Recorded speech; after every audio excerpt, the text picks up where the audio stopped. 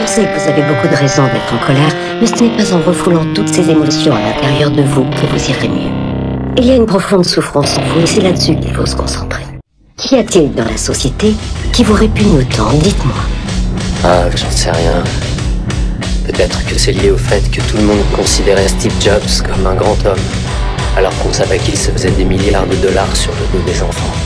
Ou peut-être bien que ça vient du fait que tous nos héros semblent être des imposteurs, et le monde lui-même un énorme canular.